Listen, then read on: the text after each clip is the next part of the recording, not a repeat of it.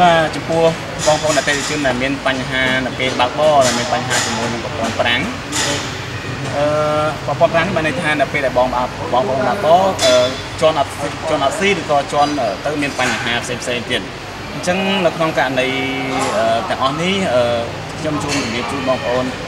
នៅកត្តាមួយចំនួនដែលបង្កឲ្យមានបញ្ហាបែបនេះទីមួយគឺតកតងជាមួយនឹងគុណភាពរបស់ស្បែកប្រាំង គុណភាពរបស់ស្បែកប្រាំងនេះបើសិនជាប្រភេទស្បែកប្រាំងដែលមានគុណភាពល្អគឺវាមានលេងជាតិស្ពាន់ដែលលាយជាមួយគុណភាពតែជាផលិតផលរបស់ក្រុមហ៊ុនផ្ទាល់តែម្ដងគឺវាអត់មានបើសិនជាបងប្អូនប្រើប្រភេទស្បែកប្រាំងដែលមានដែលមិនមែនជា original ដែលមិនមែនជាផលិតផលរបស់អាចឲ្យមានបញ្ហាជាប់អាស៊ីដែរពីទៀត អឺ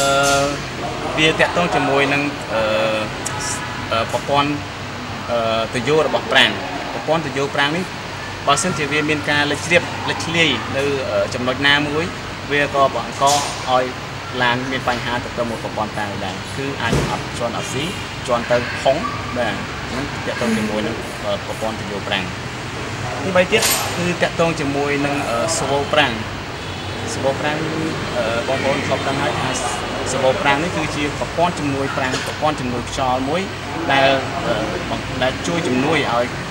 ប្រព័ន្ធប្រាំងនេះដំណើរការបានល្អបើសិនជាស្វូប្រាំងនេះមានបញ្ហាគឺអាចបង្កឲ្យមានគ្រោះថ្នាក់ធំដោយសារតែយើងជន់ទៅគឺវាវាវារឹងឬក៏វាមិនស៊ីតែម្ដងបាទហើយចំណុចទី4នោះទៀតគឺតកតងជាមួយនឹងគេហៅថាវ៉ាក់ជូម វ៉ាក់ជូមជំនួយប្រព័ន្ធប្រាំងវ៉ាក់ជូមចំនួន1005នេះបើសិនជាវ៉ាក់ជូមអត់ដំណើរការទេវានឹងឲ្យប្រព័ន្ធ5ទាំងមូលវាដំណើរការមិនល្អទី1ទី1វាអាចនឹងជន់ទៅរឹងទី2ទៀតវាអាចនឹងជន់ទៅមិនស៊ីតែម្ដងដែរអញ្ចឹងបើសិនជាក្នុងបើសិនដំណោះស្រាយដែលចាំបាច់បំផុតនោះគឺបងប្អូនត្រូវតែទី1គឺអាចមកពិភាក្សាជាមួយនឹង